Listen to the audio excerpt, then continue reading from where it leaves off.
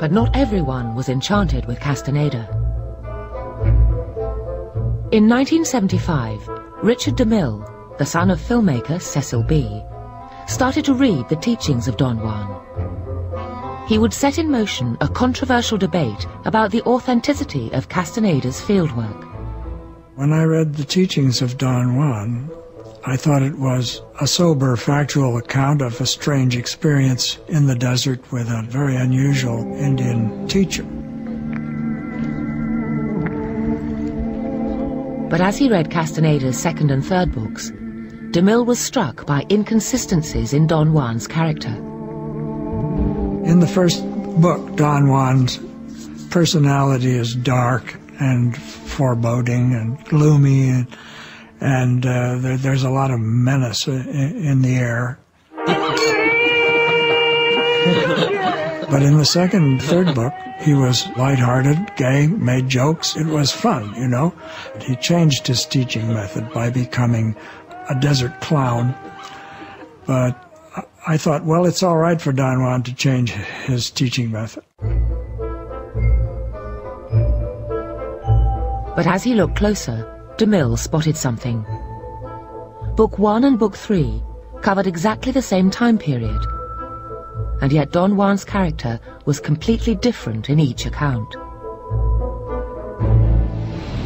There is no way Don Juan personality could change from day to day.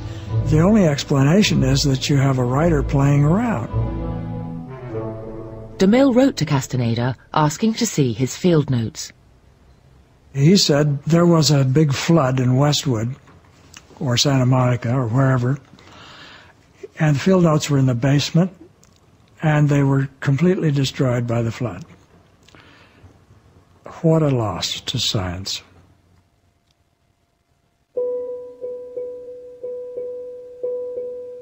Castaneda had always claimed that Don Juan was from a tribe called the Yaqui. But as DeMille checked anthropological sources, he discovered that unlike Don Juan, the Yaqui didn't use peyote in any of their religious rituals. The cactus didn't even grow in their territory.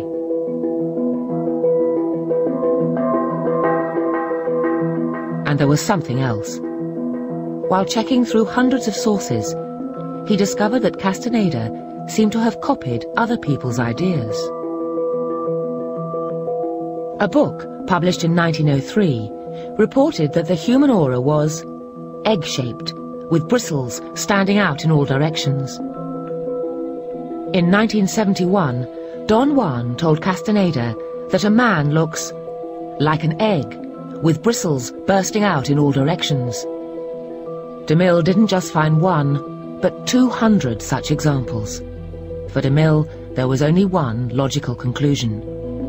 His method of work seemed to be going into libraries and finding things in them that he liked, and uh, in his following book, uh, they would come out of Don Juan's mouth.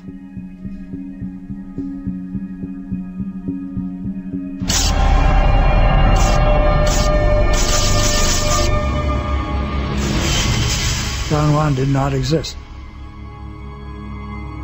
He uh, is a, a character in a story invented by Carlos Castaneda. But despite DeMille's evidence, Castaneda's wife was not convinced. He thought that Carlos made it up. And I know that he didn't. I know that he went on those trips and everything. And I know that, you know, that it's, it's true. For a start, Castaneda's family have some evidence that he did do fieldwork in Mexico. This is a postcard from Sonora, Mexico, and it says, I have been here in Mexico for a while now. Take care. Ciao. See. Dearest Margarita, I was unable to write sooner because I just arrived from a three week uh, field work in southern Mexico. Castaneda's son even had first-hand experience of his father's research. I would go with him on a lot of his field trips and spend a lot of time with him. Uh, we would take trips to Topanga Canyon into Mexico, and and I would actually be, I guess, his little apprentice. I did remember meeting a Native American Indian in the desert. I was real little. I don't know that his name was Don Juan. For DeMille's charge that there were no field notes, there were boxes and boxes and boxes of field notes at his house in Westwood. Richard DeMille is absolutely wrong.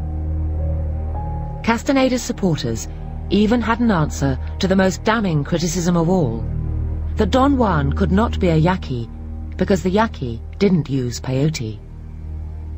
Don Juan had been exposed to many, many customs and traditions throughout Mexico because he had traveled extensively through Mexico.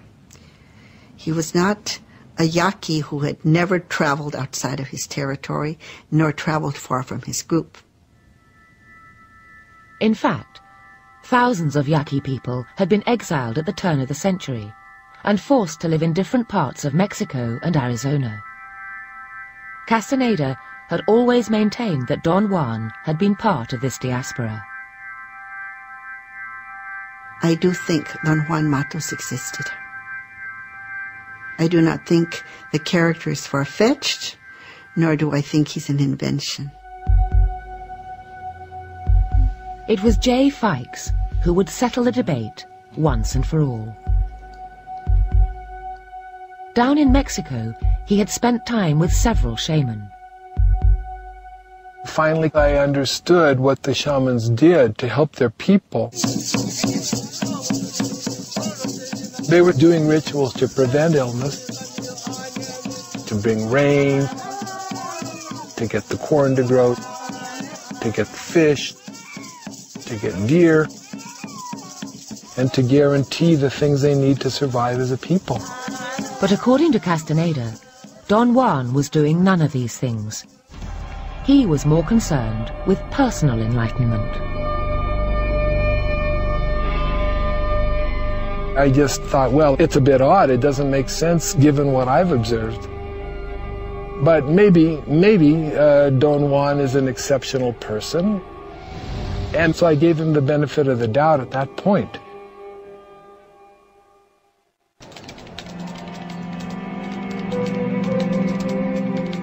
Then Fikes received some new information that seemed to support Castaneda.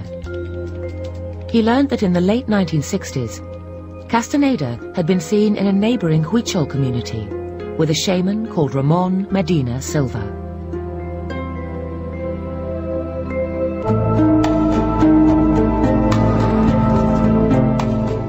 Fikes decided to investigate. Since Ramon Medina Silva was now dead, Fikes set about tracking down his widow. There was this clue that I wanted to follow up on about the widow of this Huichol shaman. So I decided to locate her and interview her. After years of controversy, it seemed at last there was an eyewitness that could finally corroborate Castaneda's story. I found her uh, living in a shack and uh, tape recorded interviews with her and uh, realized that she, she had met Castaneda. Conocí a Castañeda, nos vimos en Tepic y lo conocieron a él también. He definitely went to Mexico, there was no doubt in my mind. Fikes began to wonder if, in fact, Ramon Medina Silva was actually Don Juan. There was a good reason why Castaneda might have changed his guru's name. Well, one of the things that anthropologists have often had to do in order to protect the people that help them learn about the culture is to give their key informants some kind of anonymity, and sometimes disguising entire cultures, giving them fictitious names.